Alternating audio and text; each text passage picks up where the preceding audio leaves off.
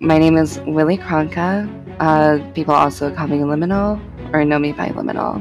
I felt like it'd be a really good opportunity to come here and devour these wannabes. I've had a lot of people tell me I'm really like seductive and controlling. So I feel like that's like one of the major reasons why I stand out. I'm both social and strategic, but I know that we will be playing new comps. But I honestly don't think that's going to affect my comp game since I adapt really well to new situations. I'm going to be relying on more of a comp game, but I'm still really, really good socially. I know how to get behind someone's ear or have them do things that I want them to. Based on my ability and my knowledge of what I know I can do, I feel like I'm going to be one of the top people.